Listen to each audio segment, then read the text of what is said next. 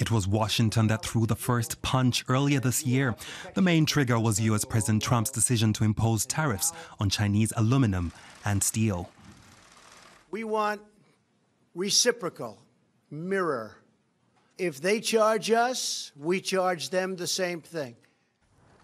Beijing reciprocated in what has become a tit for tat trade spat. But the Trump administration's ambitions for what it calls fair trade also targeted its allies, including the EU, Canada, and Mexico. These measures had the EU warning of a potential trade war. It could escalate to, to, to, to a full uh, trade war, which would be bad for the whole world. We are so interlinked in the global economy. The message was clear the whole world would be affected.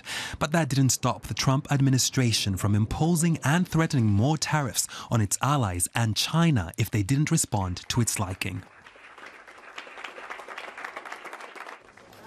Meanwhile, the EU has had its own drama Brexit. Negotiations between London and Brussels for an agreement on the terms of Britain's exit from the EU have been unsatisfactory.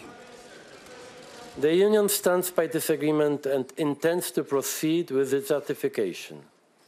It is not open for renegotiation. The EU's tough stance and squabbles in Westminster have increased the likelihood that Britain could crash out of the bloc without a deal in March. That would be disastrous for business. The uncertainty on Brexit and the tariff war has weighed on global trade, and it has been catastrophic for the markets. Since January, global equity capitalization has lost about $17 trillion. The STOXX Europe 600, which tracks the continent's leading companies in 17 countries, is now set to post its worst year in a decade. The 2018 dip is set to be the worst year for the index. Only the post financial crisis plunge in 2008 was worse. The worst performers include travel and leisure, construction, auto and parts, and banks. The auto industry was a big bone of contention between Washington and Brussels. The Trump administration wants lower tariffs for US made cars in the EU. Uncertainty regarding car imports caused investors to flee auto stocks. Ensuing profit warnings by some car makers did little to change investor sentiment. But there's an even bigger loser on the markets the banking sector. Apart from the worsening global macroeconomic outlook amid the trade dispute, there was the currency crisis in Turkey and tighter monetary policy in the US. No industry was immune. Tech giants, the world's most highly valued stocks, also took a beating. Initially, it looked like they were the exception.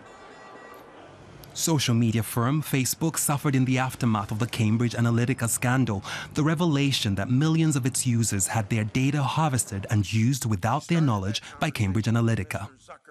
The work of Cambridge Analytica is not equivalent to, to, to, to, traditional marketing. Cambridge Analytica specialized in disinformation, spreading rumors, compromat, and propaganda. The revelations dealt a blow to Facebook's share price, but it recovered in the summer, which saw Apple become the first company to reach a market capitalization high of $1 trillion. Amazon followed a few weeks later. It looked like the sector was immune to the market rout, but that changed. The macroeconomic outlook and the trade spat have also affected tech. Both Amazon and Apple are down from their highs, and Facebook is struggling with another privacy scandal. It has been a rough year for the markets, and while investors may want to put it behind them, the outlook for 2019 is not rosy.